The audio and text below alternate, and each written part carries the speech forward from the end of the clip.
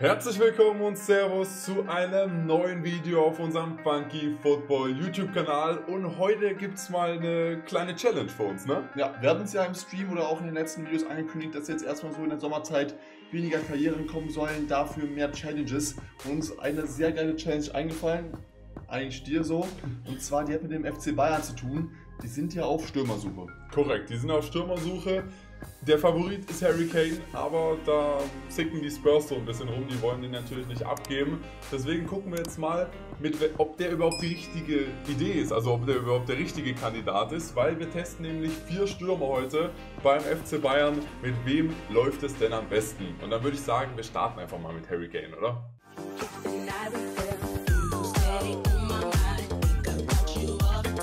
Tequila. Und ihr könnt euch wahrscheinlich schon denken, wer die anderen Stürmer neben Kane sein werden, die wir testen werden. Einmal ist es Ojiman, einmal ist es Kolomyani. Der vierte, da kommt man vielleicht nicht eher drauf, aber es ist natürlich eine deutsche Option. Niklas Füllkrug ist ja auch so leicht im Gerücht. Ich glaube, das wäre so die Option für Bayern, wenn gar nichts klappt und wenn alle sagen, boah, ich will 150, 120 Millionen. Genau, er wäre halt zum Beispiel die Option, mit der man halt ein Jahr überbrücken kann und dann vielleicht Kane davon überzeugen kann, gut, dann kommen halt nächste Ablöse frei. Und vielleicht macht Füllkrug ja auch einen Strich durch die Rechnung zu diesen großen Namen wie Kane. Das ist natürlich auch ein Transfer, da würde die Bundesliga staunen. Ne? Da würde die Bundesliga staunen und ich sag mal so, für uns war er jetzt nicht ganz ablösefrei. Also wir haben da die 125 Millionen auf den Tisch geblättert, kriegen deswegen natürlich auch hier diese Starspieler-Animation für Harry Kane.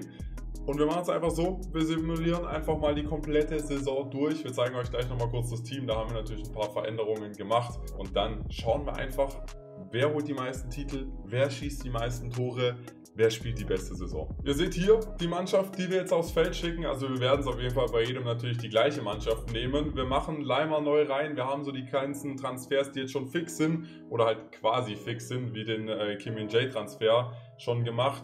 Der kommt jetzt nur nicht rein, weil er halt eine 80er Gesamtstärke hat. Das heißt, FIFA wird ihn eh nicht als erste Wahl über Upamecano reinstellen. Aber so gehen wir in die Saison rein. Wie gesagt, wir schauen auf die Titel, wir schauen auf die Tore, wir schauen auf die Punkte und wir sehen uns am Saisonende. Und jetzt sind wir am Saisonende angekommen. Ihr seht noch die letzten zwei Ergebnisse. Wir können ja sagen, Kane ist natürlich der Favorit. Er hat das höchste Rating in FIFA. Und zumindest zu einem gewissen Punkt ist der Mann seiner Favoritenrolle gerecht geworden. Wir haben im März im März die erste Niederlage in der Bundesliga gehabt. Deswegen gucken wir direkt mal rein. Zwei Niederlagen, 80 Punkte insgesamt. Da waren einige Unentschieden dabei. Das ist äh, jetzt nicht die krasseste Saison aller Zeiten, aber das ist schon, schon sehr, stark. sehr stark gewesen. Ist schon eine sehr starke äh, Ausbeute. In den anderen Wettbewerben war es ein bisschen schwieriger. Ist korrekt. Wir gehen schon mal rein in den DFB-Pokal. Da hat Gladbach gewonnen. Und natürlich, weil ja, wir der FC. Ja, ja ne? und natürlich, weil wir der FC Bayern sind, sind wir auch gegen Gladbach ausgeschieden. Der Klassiker. Eigentlich immer 3 zu 1, habe ich das Gefühl. So in den letzten zehn Jahren. Hier war es ein 2 zu 1, sogar in der Allianz Arena, muss man nicht mal geben. In der für uns zweiten Runde ist halt ein bisschen früh, ne, im Achtelfinale. Genau, das ist ein ja, kleines bis großes Desaster. In der Champions League war es dann nicht so ein krasses Desaster aber eben auch nicht richtig gut. Wir sind nämlich im Viertelfinale an, am AC Mailand gescheitert. 1-0 im Rückspiel verloren, 2-1 im Hinspiel verloren. Also auch klar gescheitert, einfach zweimal verloren.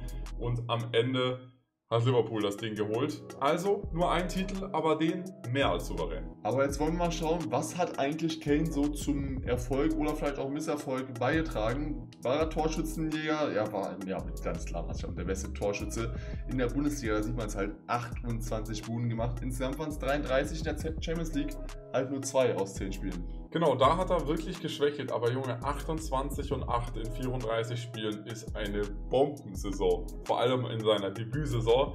Ist nochmal auf eine 90 hochgegangen, insgesamt ein Notendurchschnitt von 7,75. In Ordnung. Das lässt sich sehen, 43 Torbeteiligungen in 47 Spielen.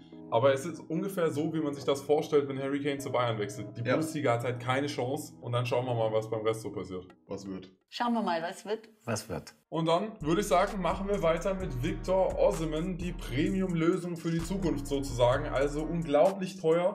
Aber halt auch eine richtige Maschine. Hat Neapel zum Scudetto geschossen und ähm, ja, bringt halt alles mit, um über die nächsten zehn Jahre ein krasser Stürmer zu sein. Ne? Der ist noch so jung und schon hat so viel Qualität, er kann eigentlich alles, macht auch Kopfballtore. Für die Bayern vielleicht auch gar nicht so unwichtig gegen tiefstehende Bundesliga-Teams. Vielleicht funktioniert er ja noch besser als Kane in der letzten, letzten Saison. Und dann gehen wir auch hier in die Simulation rein. Es gibt halt ein Problem vielleicht. Es gibt vielleicht ein Problem, weil Sadio Mané ja auch ein MS ist und ein höheres Rating hat, könnte es sein, dass der Computer Osimhen so ein bisschen die Spielzeit klaut. Das könnte Also jetzt, 16 Spiele. ja, das könnte jetzt bei den nächsten paar mh, vielleicht passieren. Da müssen wir mal gucken, ob das jetzt so ist. Aber wir hoffen einfach mal, dass sich die Qualität von Osimhen durchsetzt und der Mann dann einfach loslegt.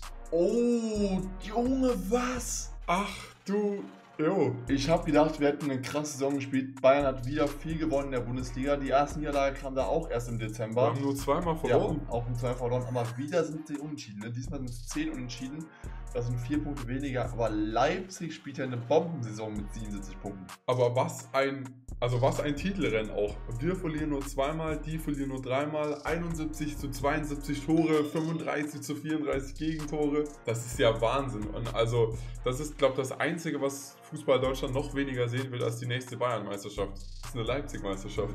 Und Victor Osimhen ist schuld. Aber eine Sache können wir euch sagen: Es gab auch einen Titel zu bestaunen und zwar den im DFB-Pokal. Da hat es äh, Finale gegeben. Bayern gegen Dortmund gab es schon lange nicht mehr, oder? Ja, etwas länger nicht mehr, muss man ganz ehrlich sagen. Aber wir haben natürlich auch, auch einen einfachen Baum gehabt. Gehen wir ins Halbfinale zurück. Da hat Bochum gewartet. Im Viertelfinale war es, ja okay, da waren es die Leipziger. Da hat man sie noch schlagen können. Davor war es Hannover 96 und davor war es Frankfurt. Frankfurt. Es Also war so ein bisschen durchwachsen. War immer mal wieder schwer, leicht, schwer, leicht, so eine schwer. Achterbahnfahrt. Genau. Das krasseste an der Achterbahnfahrt gab es aber auch in der Champions League. Also einmal straight runter. Wir sind nämlich Dritter geworden in der Champions League Gruppe, haben nur zweimal gewonnen, hatten wirklich ein komplett ausgeglichenes Ding, haben da glaube ich nur gegen Pilsen mal unsere Punkte geholt und sind deshalb abgestiegen in die Europa League. Und weil das noch nicht schlimm genug ist, haben wir nämlich in der Europa League dann die Vorrunde verloren. Gegen PSW. Nachdem wir das Hinspiel mit einem Tor gewonnen hatten, ne? Genau, und wir haben einfach 5 zu 3 zu Hause verloren. Das ist schon geisteskrank. Jetzt wollen wir mal schauen, ob es an äh, Osimhen lag. Ja. Erwartet man mehr? Erwartet man weniger? Ich weiß es nicht. Vielleicht ist es das, was man erwartet. Wahrscheinlich ist es so ziemlich das, was man erwartet. Also der Mann macht 22 Tore in der Bundesliga, macht insgesamt 28, hat so ein bisschen das Harry Kane-Problem gehabt, aber hat natürlich auch weniger Champions League-Spiele gehabt. Hat ein bisschen weniger Champions League Spiele gehabt, aber er konnte sich zumindest gegen Sadio Mané äh, durchsetzen, hat 48 Spiele gemacht. Und was ist jetzt wichtiger? Der DFB-Pokal oder die Bundesliga? Ich würde schon sagen, Harry Kane war die bessere Saison bisher. Ich würde auch sagen. Ja, vor allem, weil man halt diese Blamage da in der Europa League noch hatte. Kandidat Nummer 3, Rondal Kolomiani. Den Mann kennen wir noch sehr gut auf diesem Kanal. Ja, wird auch viel diskutiert, weil er eben in der Bundesliga schon funktioniert. War, glaube ich, auch letztens bei Ed Broski der Talk mit Conan. Der Ja. meinte so, ist wahrscheinlich die Option, wenn äh, Harry Kane nicht klappt, die sie versuchen werden, aber ist halt eigentlich so ein Spielertyp, der nicht so wirklich reinpasst, weil er eher so der dynamische Stürmer ist und auch oft auf die Außen ausweicht, ne? Genau, aber das ist ja jetzt in FIFA auch wieder ein bisschen was anderes. Da geht es ja eigentlich eher so ums Rating. Da ist er natürlich jetzt schon der schlechteste der drei, hat nur eine 82, aber Rating ist nicht alles. Vielleicht bombt er ja trotzdem einfach komplett die Liga kurz und. Manchmal ist Tempo auch alles in FIFA. Manch- Und das hat er. Ja, das hat er. Man kriegt ja immer so einen kleinen Spoiler, wie es so läuft in der Saison, wenn man da so durchsimuliert. Man Also- sieht, wo man rausfliegt, man sieht die Spiele, die man, also wie viele Spiele man so verliert. Und ich muss sagen, war schon durchwachsen einfach. Also, wir sind ja Erster geworden in der Bundesliga und das hat sich wirklich deutlich schlechter angefühlt. Ja, muss ich auch sagen. Wir haben halt wieder neun Unentschieden. Das ist halt wirklich krass. Wir haben nur einmal verloren. Einmal verloren, ein Punkt mehr als in der Harry Kane-Saison. Das ist jetzt bisher die höchste Punktzahl. Haben auch die Meisterschaft geholt. Also in der Bundesliga bis jetzt das beste Ergebnis. Also, die Bundesliga kennt der Mann, da, da fühlt er sich wohl. Also, du, diese Theorie scheint bestätigt worden zu Ja, sein. ja, klar. Aber, aber, aber. Runde 3. Arminia Bielefeld. Mittlerweile Drittligist. Wieder Achtelfinale, ne?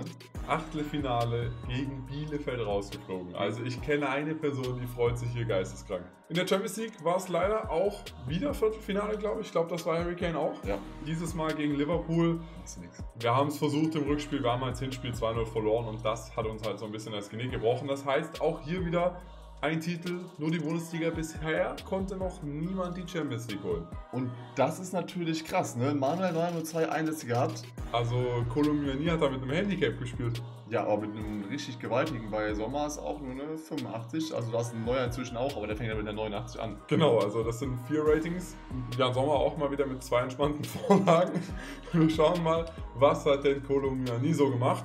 Er hat gespielt, aber er war nicht der beste Scorer, sondern, also, oder besser gesagt, nicht der beste Torschütze, weil Sadio Mané da 27 macht und Koulibaly nur 15. Krass, aber er hat vielleicht einfach Sadio Mané die Dinge aufgelegt mit 14 Vorlagen insgesamt. Das ist auf jeden Fall schon eine Hausnummer.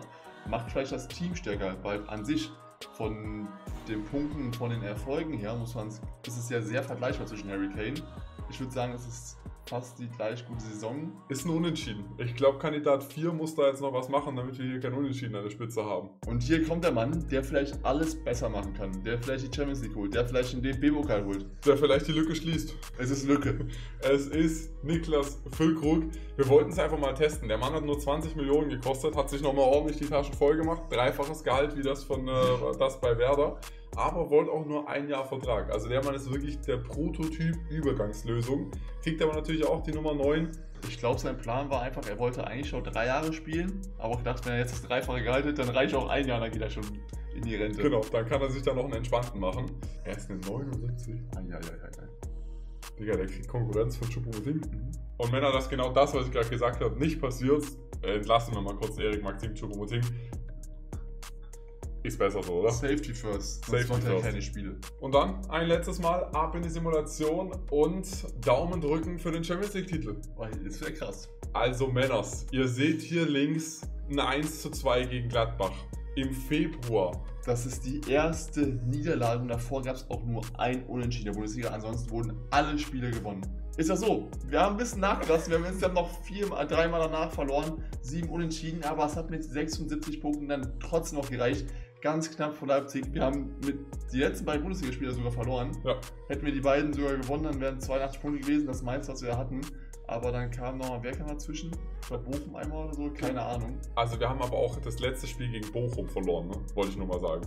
Also wir hätten wirklich fast alles noch verspielt am letzten Spieltag. Wir haben es aber geschafft. Wir sind deutscher Meister geworden und wir haben das Double gewonnen. Wir, wir sind Double. nämlich auch DFB-Pokalsieger geworden.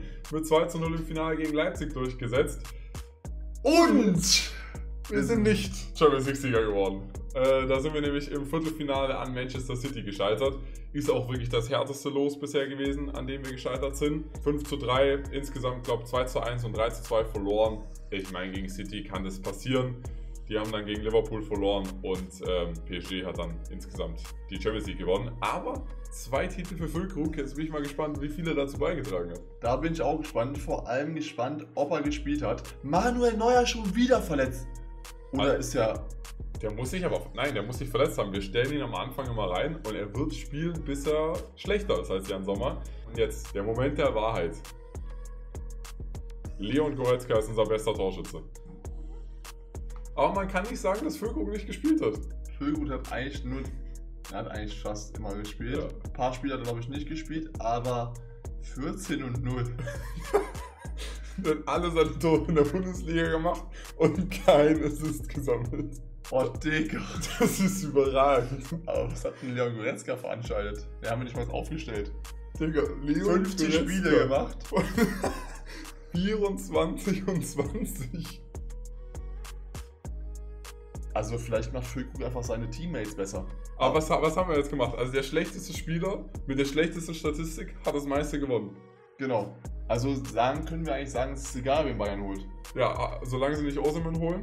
Ja, Osimhen war echt ein Reinfall, aber Kane und äh, Kolo Myani haben sich nicht viel gegeben. Quasi die identische Saison. Und bei Füllkrug war alles anders. Also, da habt ihr es. Wir haben es getestet. Niklas Füllkrug äh, ist ein sehr, sehr guter Plan C. Plan A und B sollten wahrscheinlich Kane und Kolo Myani sein.